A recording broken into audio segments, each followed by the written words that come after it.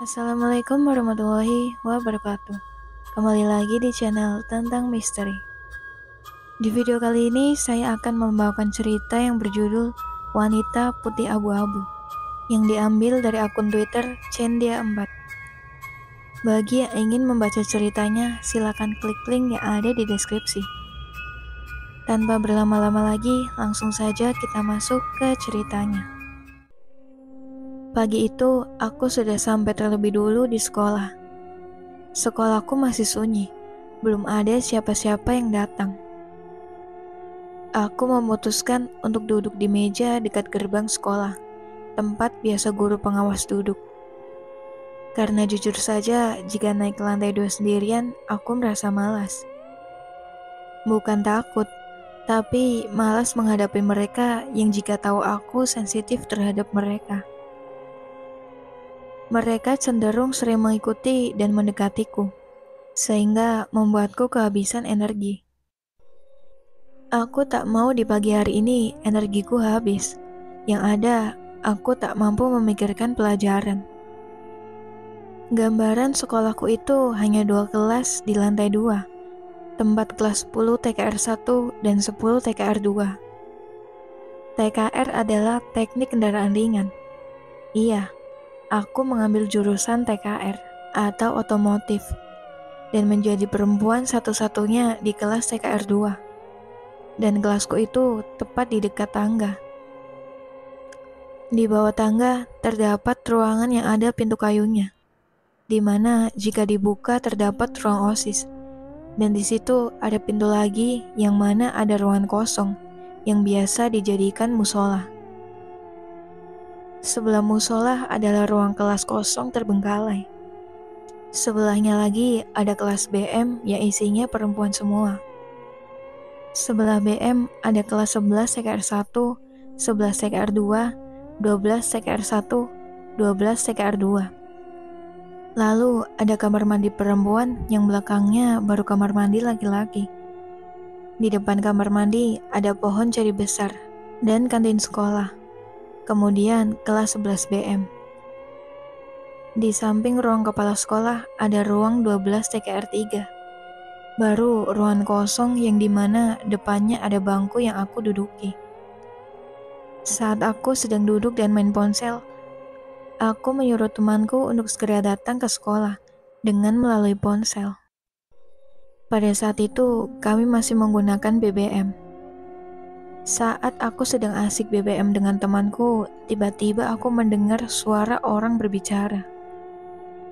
Aku yang penasaran mencoba mencari tahu asal suara itu.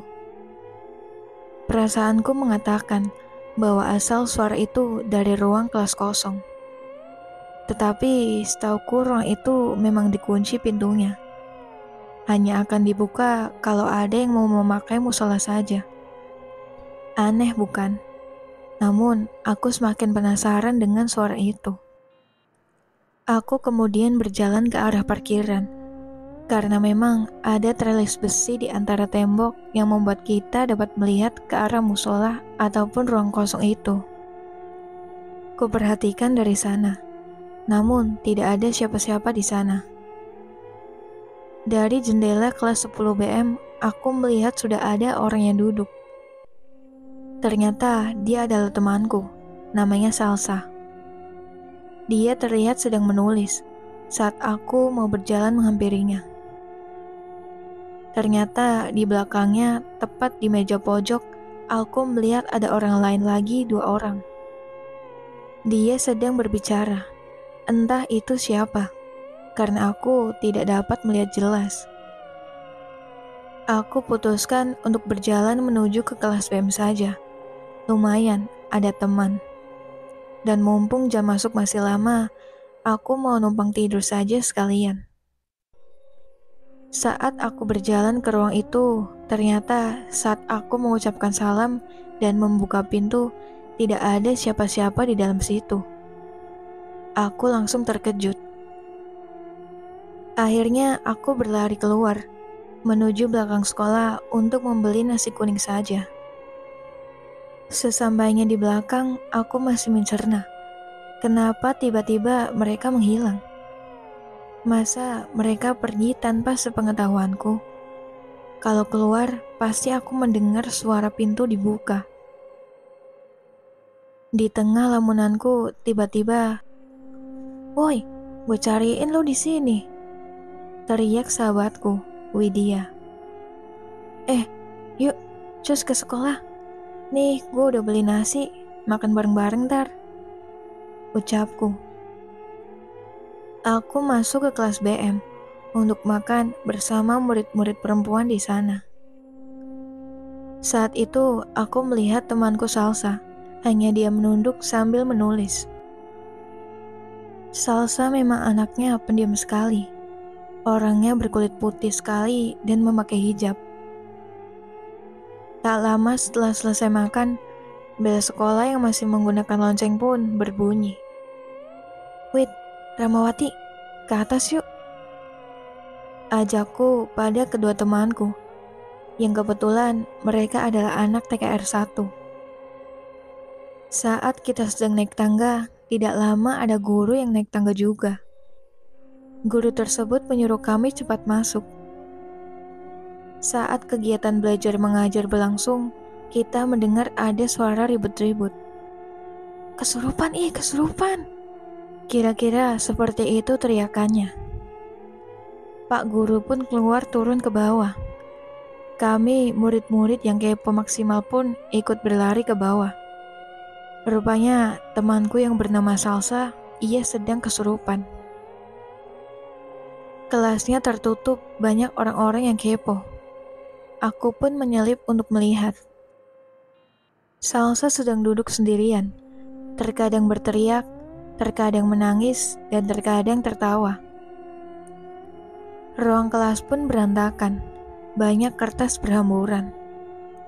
Guru-guru pun membacakan ayat Al-Quran pada Salsa. Namun, Salsa malah semakin histeris dan memukul-mukul orang yang ada di sana. Aku melihat Salsa dirasuki perempuan. Perempuan tersebut adalah anak perempuan berambut panjang. Mengenakan pakaian seragam putih abu-abu. Namun, keluar darah dari pergelangan tangannya. Salsa selalu berteriak, Mau pulang, mau pulang. Angkat aja ke musola, kataku. Iya, iya bener, daripada di sini jadi tontonan. Aku pun ikut membantu mengangkat. Ia terus menyakarku, hingga tanganku terluka. Padahal sesungguhnya kuku yang Salsa miliki tidak panjang. Jadi seharusnya tidak mungkin bisa menjakarku sampai aku terluka seperti ini. Hah, panas, panas, sakit. Ucap Salsa ketika masuk musola. Ia juga terus membandingkan kepala dan tubuhnya ke ubin terus-menerus. Guru-guru pun sudah menyerah. Lelah karena roh itu tidak mau keluar. Aku pun belum bertindak apa-apa, hanya melihatnya saja. Hingga tiba saatnya aku mulai kesal. Keluar, panas kan? Ya udah keluar. Bendaku pada sosok yang merasuki salsa. Panas, sakit. Ya kalau panas keluar, kasihan temen gue. Lagian mulu apa sih sampai masuk ke temen gue? Tanyaku kesal. Aku mau teman. Anak ini sendirian, gak punya teman. Jadi aku mau bawa. Nasibnya mirip aku sebelum aku mati. Ucap sosok itu. Udah-udah, kita beda alam. Jadi jangan ganggu. Tapi anak ini kasihan, gak punya teman. Aku udah lihat dia terus-menerus. Hingga tadi tiba-tiba dia diam. Jadi aku langsung masuk. Ucapnya lagi. Ya udah sekarang keluar. Kasihan dia, kataku. Enggak, dia punya aku. Dia temanku. Aku mau bawa dia, biar dia nggak sendirian lagi. Ucapnya diakhiri tawa yang menyeramkan. Aku semakin kesal. Kemudian aku menekan jempol kakinya sambil membaca ayat kursi. Sosok itu semakin berteriak kesakitan. Dia memberontak lalu mencakar wajahku. Aku yang semakin kesal pun terus menekan jempol kakinya. Aku mulai kelelahan karena sudah satu jam dia tak kunjung mau keluar. Tubuhku juga luka-luka, dan rasa dari luka itu menimbulkan rasa yang panas sekali, seperti terbakar rasanya. Dan juga aku sudah menghabiskan energi yang banyak untuk menahan supaya tidak ada makhluk lain yang masuk ke sini. Karena ditakutkan bahwa nanti jika makhluk ini keluar, ada makhluk lain yang masuk lagi. Hingga kemudian aku berkata padanya, "Kamu mau teman?" Tanyaku. Iya, aku mau teman. Ucapnya. Ya udah, ikut aku pulang ya. Kasian. Kamu jadi teman aku. Kalau mau main sama aku aja. Nanti kita semua pun bakal temenan sama Salsa. Kata yang lain. Kalau kamu suka sama Salsa, ya udah, liatin, jagain dari jauh aja. Jangan begini, kasihan. Udah ya pulang. Emang kamu tinggal di mana? Tanyaku. Aku tinggal di... Belum sempat ia menjawab, tiba-tiba ada kepala sekolahku yang datang dan mengintip. Ia hanya tersenyum dan berkata, Salsa. Kemudian Salsa tersadar dan langsung muntah. Aku yang jijik karena muntahannya pun segera berdiri. Dan aku melihat ada bayangan putih melesat terbang ke arah kelas kosong. Rasanya aku ingin mengikuti, tapi tanganku ditahan guruku. Jangan, kata guruku. Aku hanya menganggukkan kepala. Aku akhirnya masuk ke kelas BM untuk menanyakan awal mula salsa bisa kesurupan.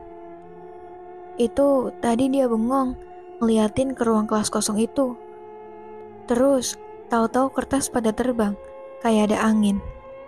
Eh, gak lama dia ketawa kenceng, terus nangis gitu. Jelas nada, teman sekelas salsa. Ajak ngobrol, jangan biarin dia bengong begitu. Ucapku. Ya gimana mau diajak ngobrol? Tahu sendiri tuh anak, diajak ngomong kayak orang gagu, diem aja kata Mambar. Usaha daripada kayak gini lagi mau. Kataku kesal. Aku pun menatap ke arah kelas kosong itu, mencoba mencari sosok itu. Namun, sosok itu tidak ada. Aku sebenarnya penasaran di mana rumah dia.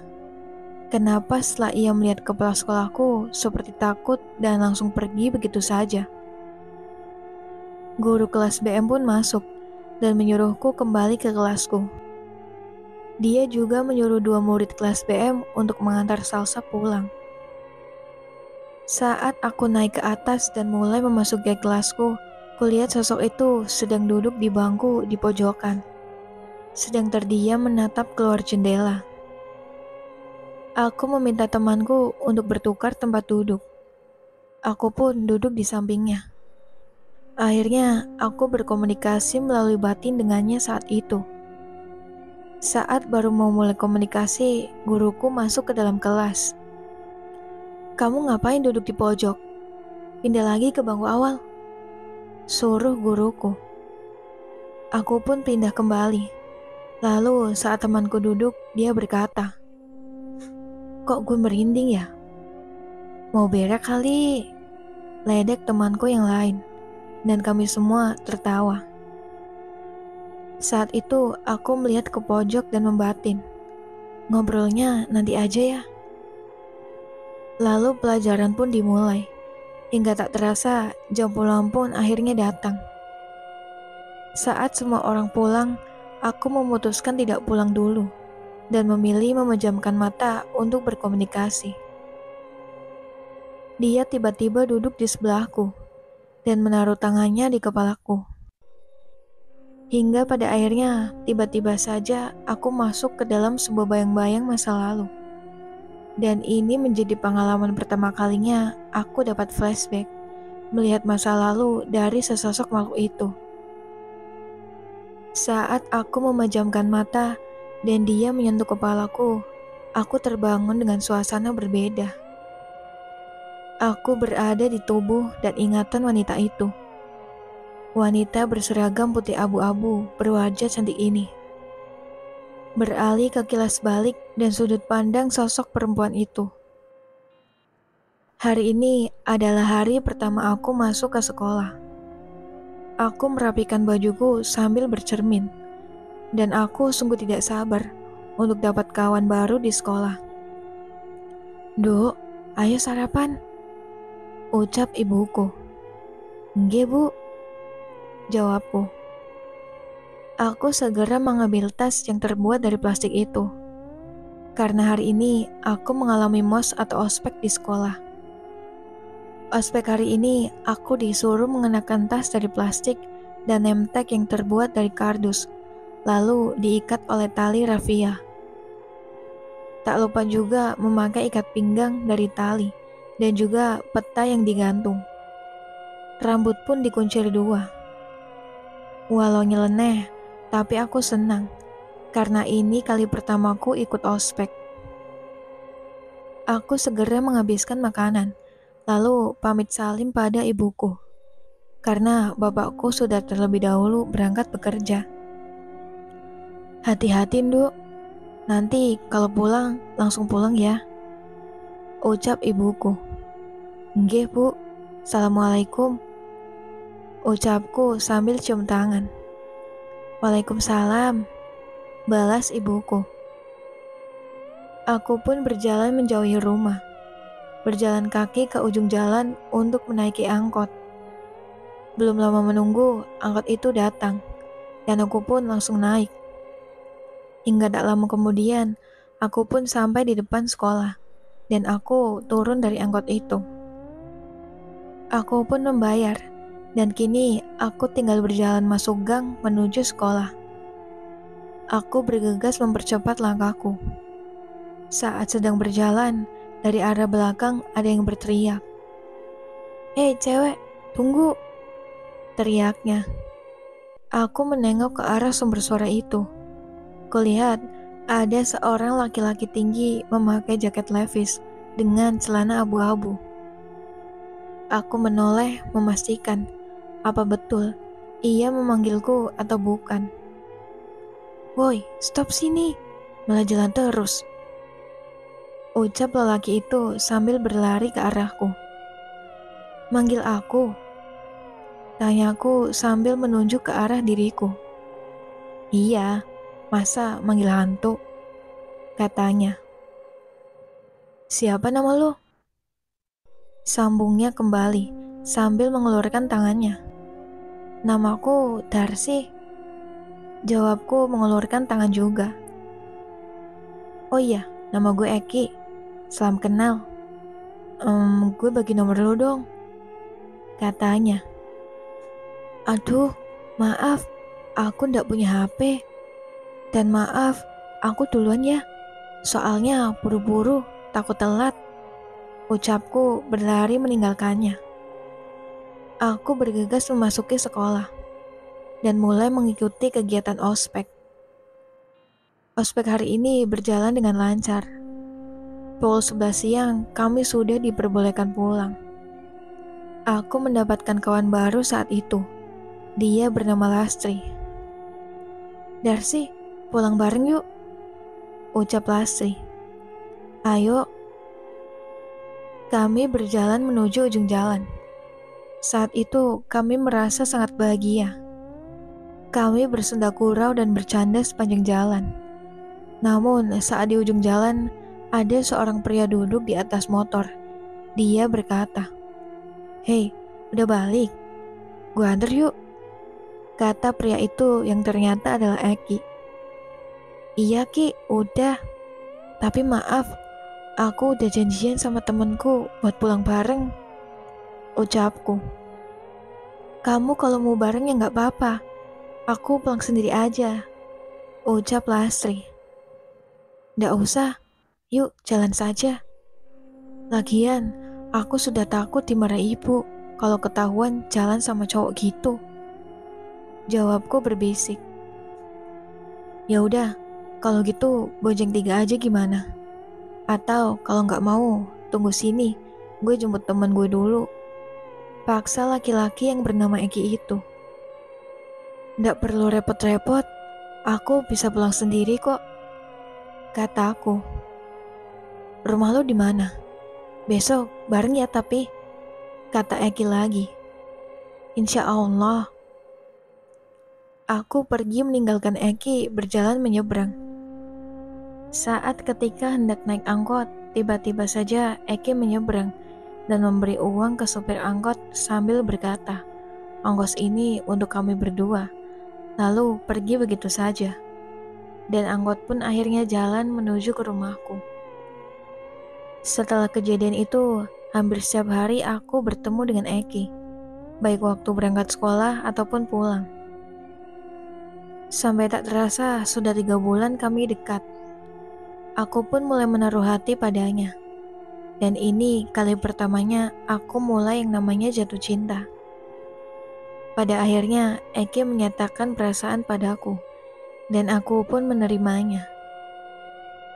Seminggu berpacaran, Eki mengajakku kencan, yaitu pergi ke pasar malam.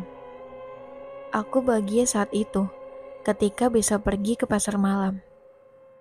Pulang dari pasar malam, aku tak bisa berhenti tersenyum saking bahagianya. Hingga tak terasa, hari dan bulan berganti begitu cepat. Suatu hari, pada hari Jumat, Eki berkata, Nanti hari Minggu jalan yuk. Kalau mau, aku tunggu di tempat biasa, jam 9 pagi. Gimana? Aku usahakan ya kataku. Jangan gitu, lebih baik pastikan. Soalnya kita kan gak bisa komunikasi. Dan kamu ngelarang aku ke rumah kamu. Kalau enggak, pasti jangan deh. Dar sia-sia aku nungguin. Jawab Eki dengan nada agak kesal. Aku sadar, aku susah sekali menemuinya ketika libur. Dan ketika bertemu, kita harus bertemu agak jauh dari rumahku. Aku berpikir beberapa saat, hingga akhirnya, ya sudah, aku bisa. Jawabku. Nah, gitu dong. Yaudah yuk, naik. Jawab Eki sumringah. Aku pun akhirnya membonceng Eki. Dalam hati, aku bingung mau beralasan apa ke bapak nanti. Sepanjang perjalanan, aku hanya terdiam. Hingga terlintas sebuah ide, aku berkata pada Eki untuk mengantarkanku ke rumah Lastri. Eki sempat bertanya mau apa, dan aku hanya menjawab, antar saja dan bilang akan sebentar saja. Eki pun memacu motornya agak sedikit cepat. Hingga tak lama, aku sampai di depan rumah Lastri. Nanti kalau pulang SMS aku aja, kabarin. Kata Eki. Iya. Jawabku dan tak lama Eki pergi. Aku pun segera mengetuk pintu dan mengucap salam serta memanggil Lastri dari luar rumah. Tak lama terdengar suara langkah kaki dan tak lama pun pintu dibuka. Lastri langsung menyuruhku masuk. Kami pun duduk di ruang tamu. Aku ditawarkan minum menolak, dan akhirnya hanya terdiam sambil memainkan jari tanganku. Gak usah grogi, udah cerita aja, kata Lastri padaku. Jadi, aku mau minta tolong lah sama kamu. Jawabku. Mau minjem uang? Aku ada, cuma gak banyak. Sebentar, aku ambilkan. Jawabnya memotong perkataanku. Eh, bukan Las, bukan. Bukan itu. Aku mau minta tolong. Jadi, aku mau jalan sama Eki hari Minggu.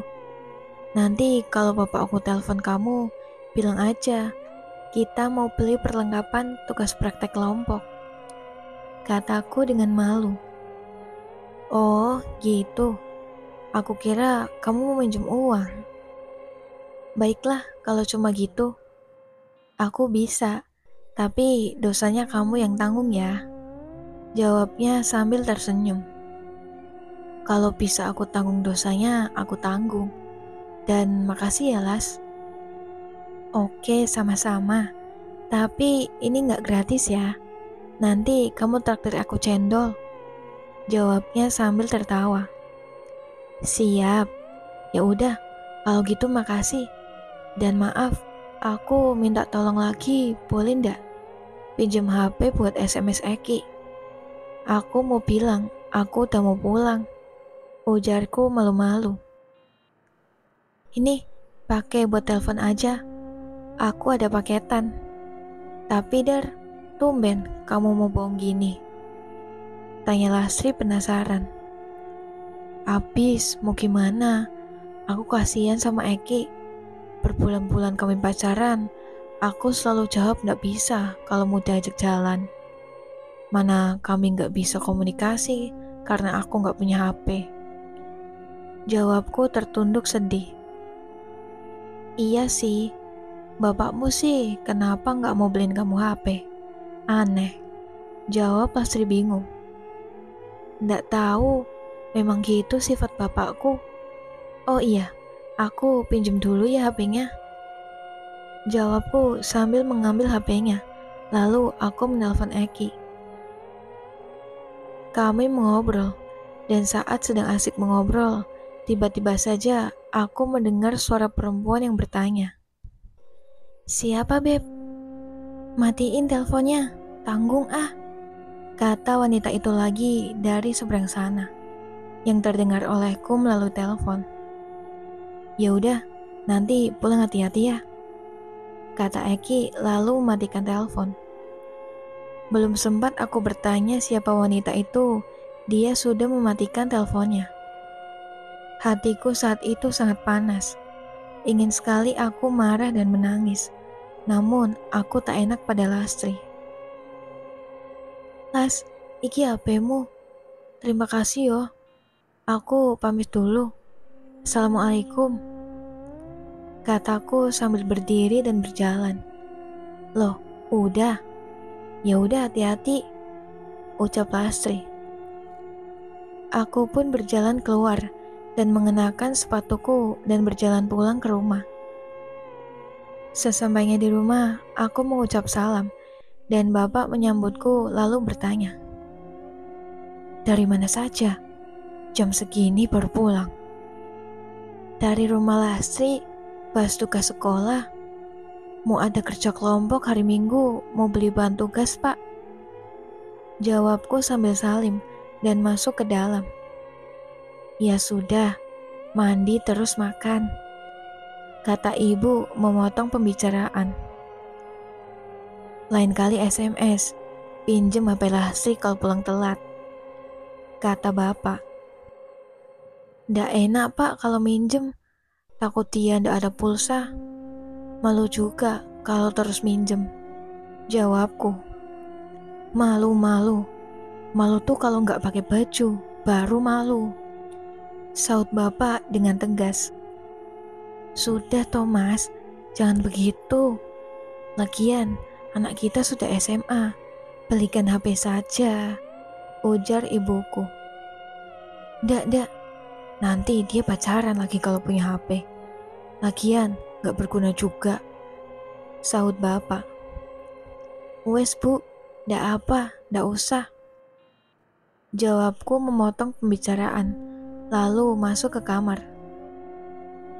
Aku mengambil handuk dan langsung mandi, lalu makan sambil mengerjakan PR sekolahku. Saat sedang makan, bapak berbicara.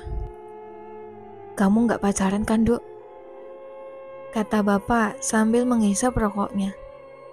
Ndak, Pak, ndak berani. Jawabku berbohong. Mulutku terasa keluh karena ini pertama kalinya aku berbohong pada orang tuaku. Bagus, jangan pacar-pacaran. Buat apa kamu bersinar begitu? Kalau ketahuan bapak kamu begitu, bapak usir kamu dari rumah.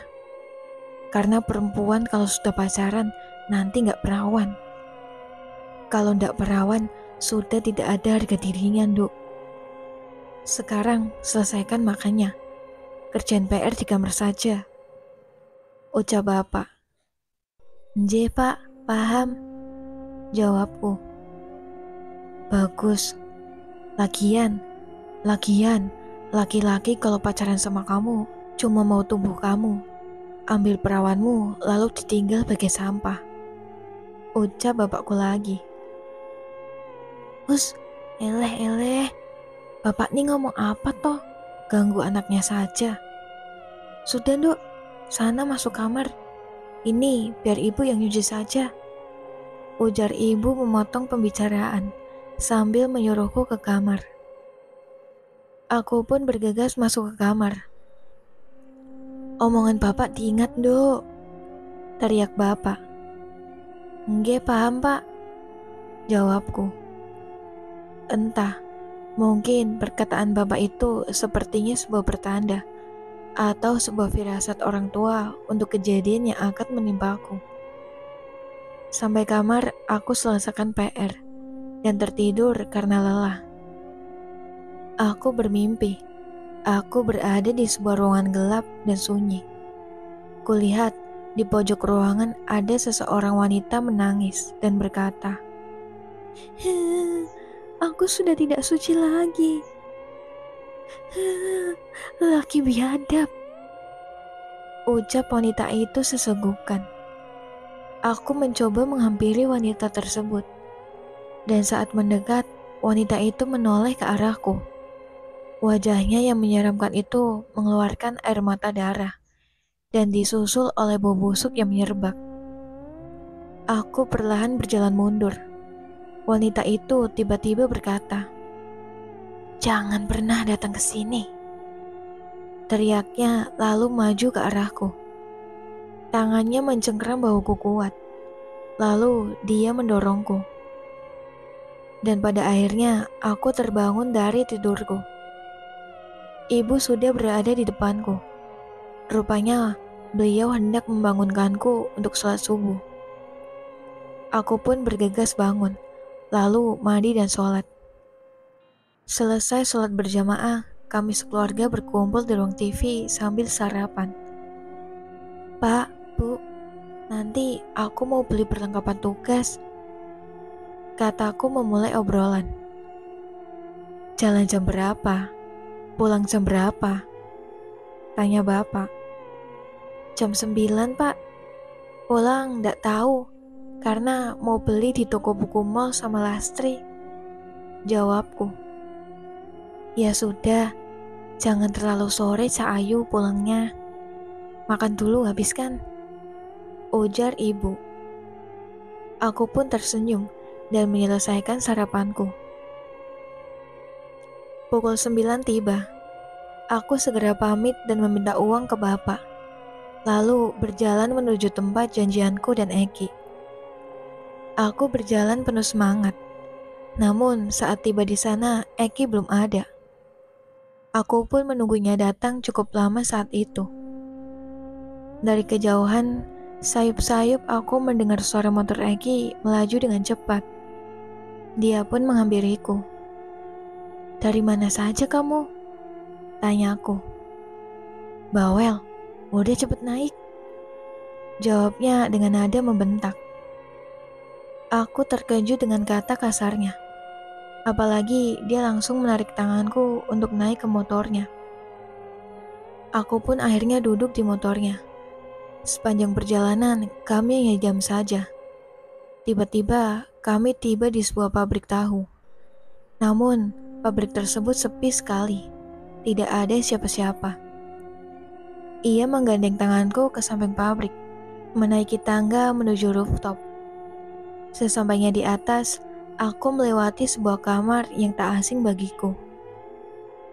Tiba-tiba saja bulu kuduku berdiri. Eki terus menarikku mengikutinya. Akhirnya, aku melihat beberapa lelaki dan wanita di situ. Eki bilang, itu adalah temannya. Wanita itu hanya mengenakan celana pendek dan tank top saja. Jujur, aku agak risih melihat penampilan mereka. dan ada satu wanita menatapku sinis. Eki memperkenalkanku dan menyuruhku duduk. Ketika duduk, aku mulai gerah dan merasa kepanasan. Risi juga dengan asap rokok. Aku mengajak Eki pulang. Eki pun mengantarkan aku pulang pada akhirnya.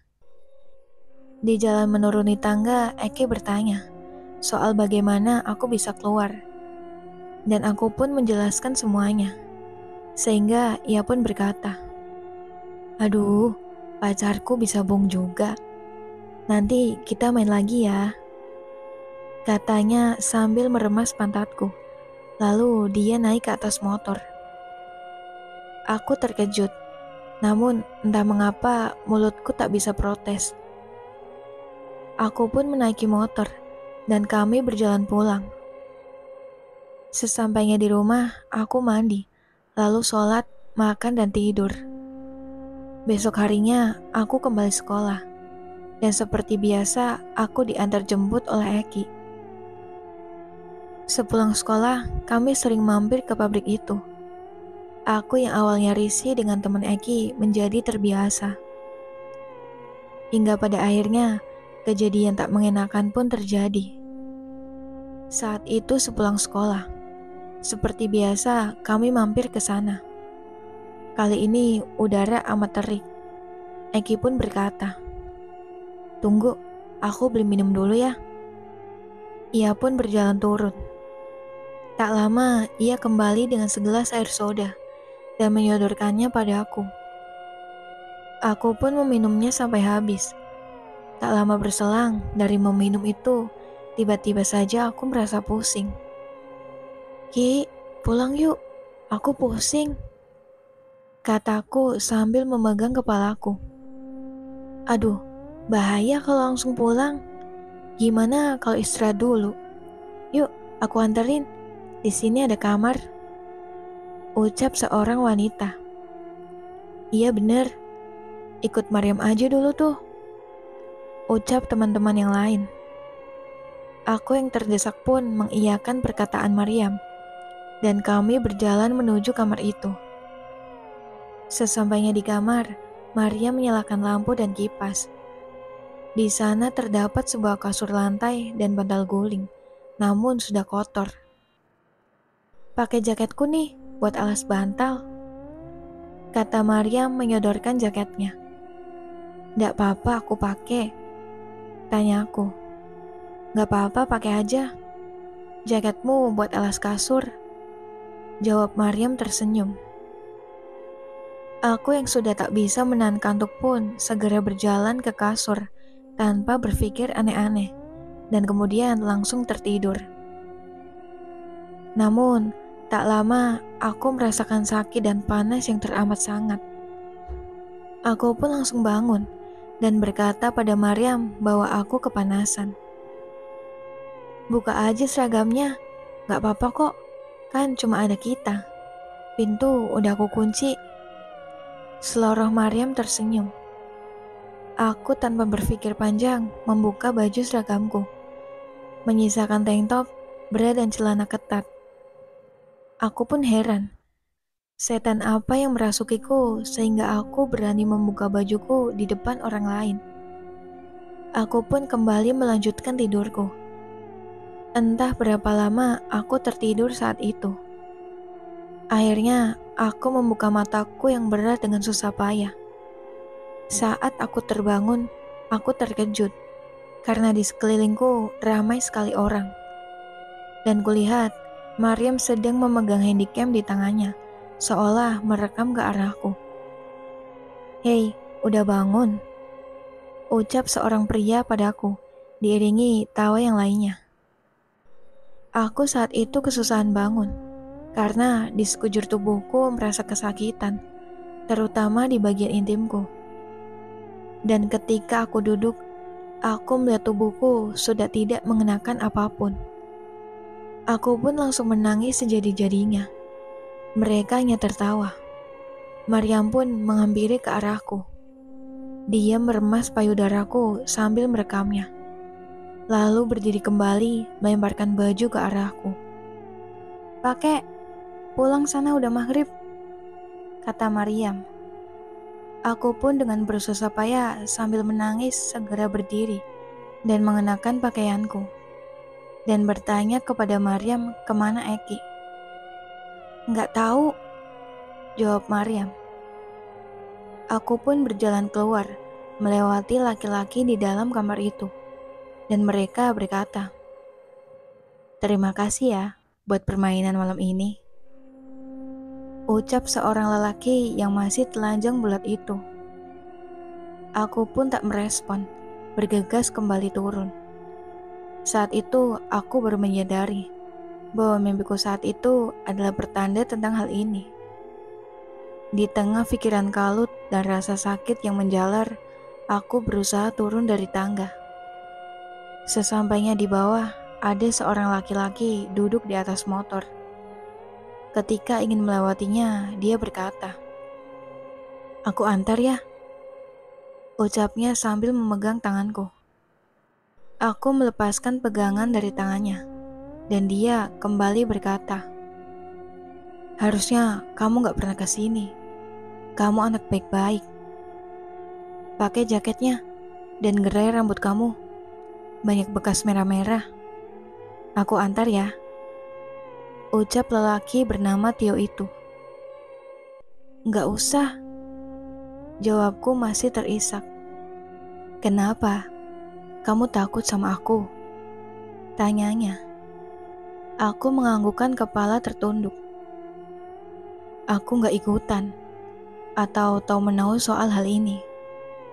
Aku baru sampai, dan ketika di atas melihatmu seperti itu, aku langsung menarik Eki dan mengajar dia. Eki menjelaskan bahwa dia berhutang pada Bari dan jika mau lunas harus menyerahkan kamu. Ucap Tio menjelaskan. Mendengar hal itu, aku pun kembali menangis. Tio berkata untuk jangan menangis di sini. Mending di motor dan jangan mencari Eki lagi. Aku pun mengangguk dan menaik motor bersama Tio. Dia pun mengantarku hingga dekat dengan rumah. Lalu aku berterima kasih dan langsung ke rumah. Kemudian masuk ke kamar untuk mengambil handuk, lalu mandi. Aku menangis sambil mandi. Untung saja bapakku juga belum pulang kali itu. Karena jika sudah, entah apa yang akan aku katakan kepadanya. Selesai mandi, aku pun tidur. Hingga pagi pun datang. Aku kembali pergi ke sekolah. Dan saat sampai di gang sekolah, aku melihat Eki dan kawan-kawannya sedang duduk di atas motor. Aku mencoba mengabaikannya dan ingin berjalan melewatinya. Namun, Eki menarik tanganku. Sini ikut aku. Aku mencoba melepaskan genggaman tangannya. Namun, temannya menunjukkan handycam di mana aku melihat sebuah video. Video tentang aku sedang diperkosa bergiliran oleh mereka semua. Aku terkejut melihatnya. Seketika aku merasa mual sekali. Aku pun terpaksa mengikuti naik ke atas motor. Dan akhirnya aku bolos sekolah. Aku dibawa mereka ke tempat terkutuk itu. Lalu kembali lagi, aku diperkosa oleh mereka. Aku terus dipaksa menuruti nafsu bejat mereka dengan ancaman akan disebar video itu jika tidak menuruti kemauan mereka. Setelah puas, Eki mengantarku pulang. Aku pulang masuk ke kamar dan tertidur. Keesokan harinya, aku terbangun. Badanku menggigil dan demam. Seminggu tak bersekolah. Keadaanku bukannya membaik, tetapi aku malah merasa semakin pusing. Aku memaksakan diri bersekolah minggu depannya. Namun, ketika di sekolah, aku tiba-tiba saja muntah ketika jam pelajaran. Aku muntah terus-menerus, sehingga saat istirahat, aku mendengar bisik-bisik dari temanku. Dia hamil kali, ucap mereka berbisik sambil melihat ke arahku. Kamu gak apa-apa, Dar? Mau pulang aja? Tawar Lastri. Mau, jawabku singkat. Lastri pun lalu ke ruang guru, meminta izin mengantarku pulang. Aku dan Lastri pun pulang. Saat hendak berjalan keluar gang, aku melihat Eki ada di sana. Aku menarik Lastri memutar ke jalan lain. Tapi kalau muter jauh banget. Dan itu ada Eki bukan? Kok kamu malah kabur? Tanya Lastri heran. Aku ceritain nanti sambil beli cendol. Aku traktir. Yang penting kita muter. Kataku terus menarik tangan Lastri. Tanpa banyak tanya lagi, kami jalan menjauh. Memutar, lalu mampir beli cendol sebentar. Dan duduk di bawah pohon.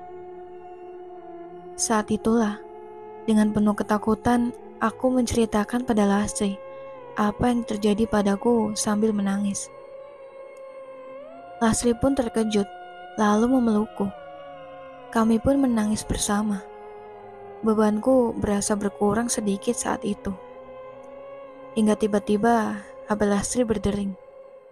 Ternyata Bu Guru menelpon, menyuruh aku dan Lastri kembali ke sekolah. Aku dan Lastri pun heran, namun kami kembali ke sekolah. Saat kami ke sekolah, murid-murid berbisik sambil melihat ke arahku dengan tatapan jijik. Lastri memegang tanganku, menguatkanku saat itu. Kami pun akhirnya sampai di ruang guru. Guru menarikku ke arah kamar mandi. Lalu kami masuk berdua. Dia memberiku sebuah bungkusan plastik yang ketika kulihat itu adalah alat kontrasepsi. Kamu pipis tabung di sini, lalu tes. Ujar guruku.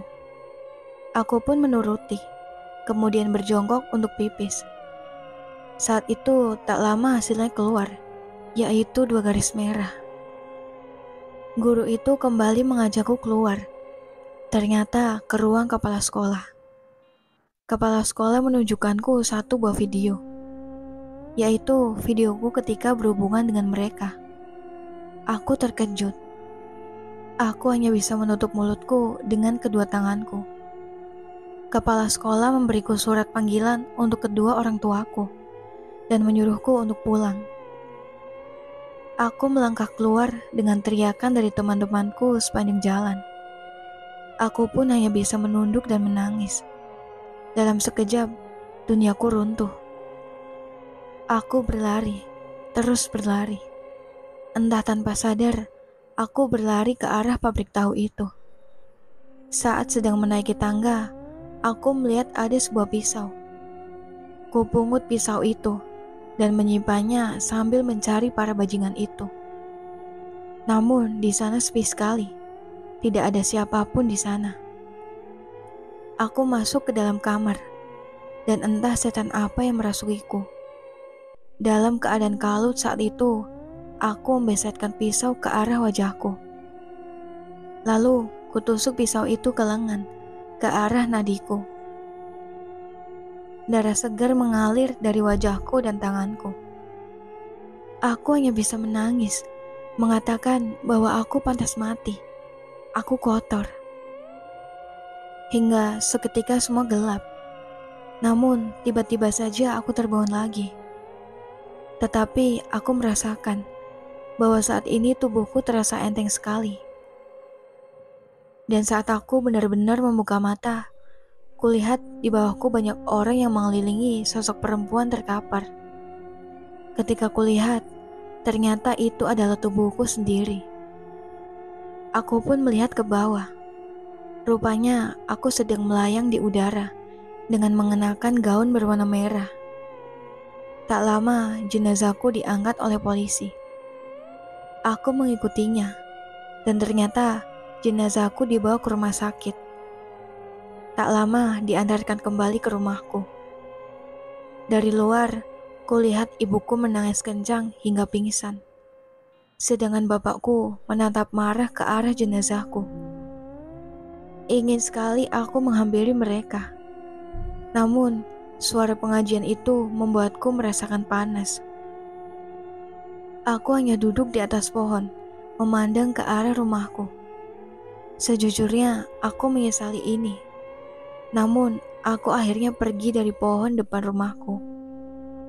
Ku ingat satu persatu wajah para bajingan itu dan mencari mereka.